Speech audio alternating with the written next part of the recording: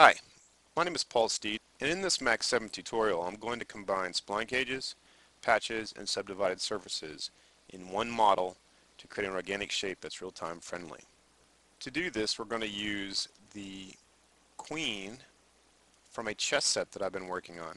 Now the motif is this kind of Greek mythology underwater um, idea so that the queen is actually a mermaid. Now, the way I usually model is to take a low polygon approach and then apply mesh smooth to it to, to end up with a higher resolution model. I do this because in real-time applications like games or, or anything to do with hardware, you have to commit to a polygon before you can actually see it by the real-time engine. Now with their hair, I was trying to go for this underwater, wildly flowing locks idea. And I lofted a bunch of shapes down some paths that simulated hair strands. And the idea was to go back through and to model all that into one mass to make it feel like a statue. So I started to do this, and even as you see it now, it just it became too much work to do that. So I did some more research and came up with a few pictures on statues. Now if you notice here the, the unifying theme is that the hair is one mass and it's been carved into a hair shape. So you get these swirls down in here and you get uh, all this stuff that that is as, is as large a chunk of, of whatever's being sculpted as they can make it. In this other idea, I think I was just going for too many loose flowing strands. Like this one up here, it just if I were to do that, it wouldn't make it, it would take away from the feeling it's a statue. So I have to build a new hair shape. And for this new shape, I'm going to use a different modeling approach. I'm going to use a spline cage with the surface modifier to create a patch model instead of just jumping right in and making a low polygon model. Now, this isn't to say it's not going to be a polygon model because the point of this tutorial is to show you how you can combine patch models and polygon models or subdivided surface models to to end up with the shape that you want.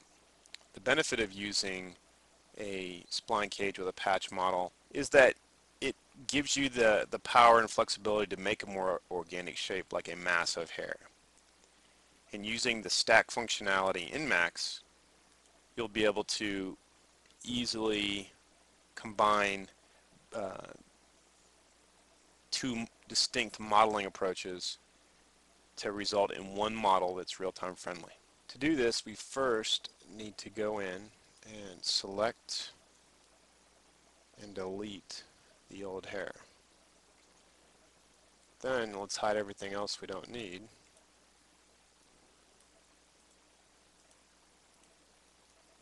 Make a copy of the queen object. Let's turn off mesh smooth. Make a copy of that by just holding down shift and clicking on it. Hide the old queen. Go down the stack and delete everything we don't need.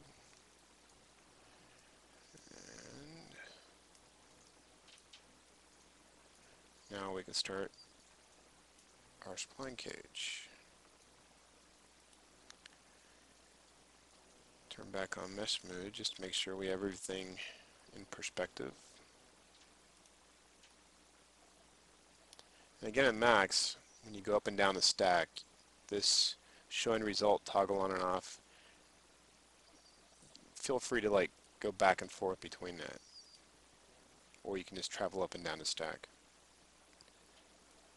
Now, when I deleted all those vertices, I just noticed I had ignore back facing on, so let's turn that off.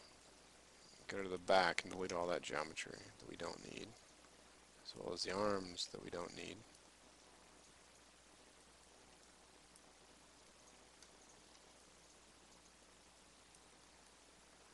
Now we're ready to start building the mesh. First shape of the spline cage we want to make is the the part in the middle of the hair. So in the front view, and go, let's see, about, say up here, here, there.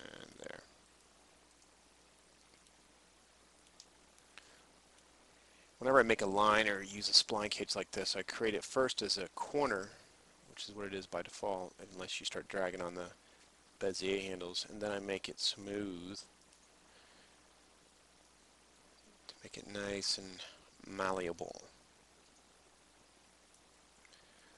So once you get it in one view,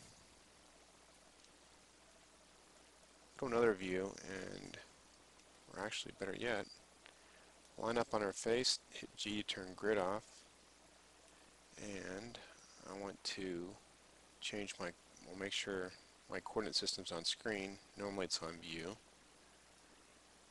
Just getting ahead of myself here.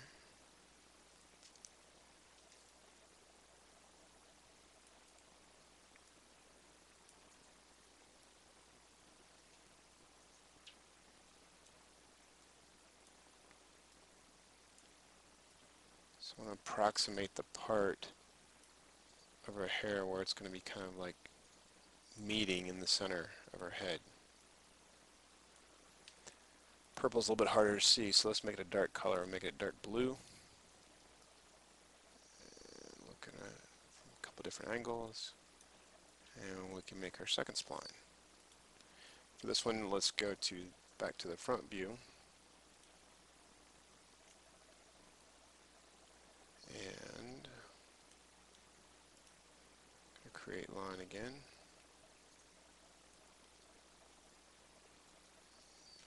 Get it where we want it. And create line's going to look something like this.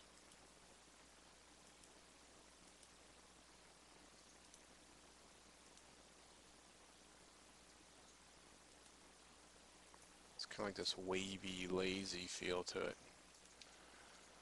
Again, let's change the color to something a little bit easier to see. Select vertex, right click on them, make them smooth. This guy's make him a little more useful. Okay, let's go to a different view.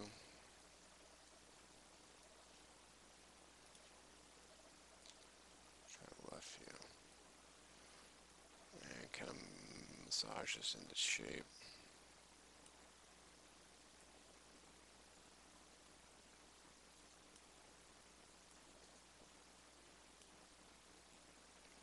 A lot of this, like I said before, I'm kind of seeing in my head as I go, so it's a pretty intuitive process.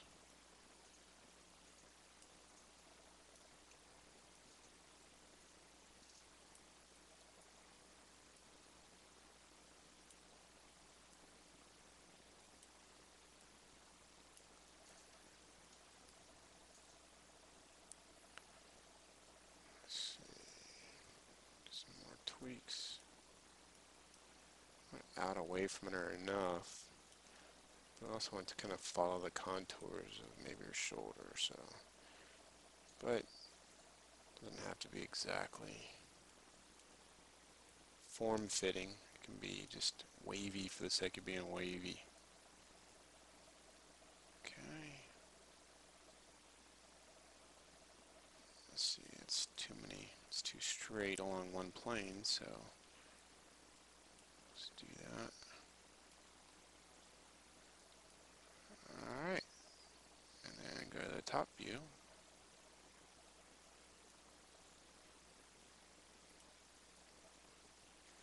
And shift drag, select and shift drag this, the line we just made, over and back a little bit doesn't matter what we call it. Freeze the first one so we don't pick up by accident. Now, we want eventually to link all these splines to a vertex at the part. So we need to see those vertices. The way you can do that is to go to Properties, click on Vertex Ticks. And now we can see all the vertices as uh, little hash marks, little crosses, versus being invisible unless we pick it.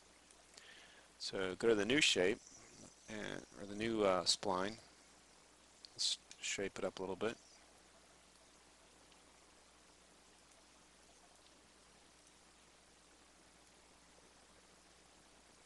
Maneuver it up there.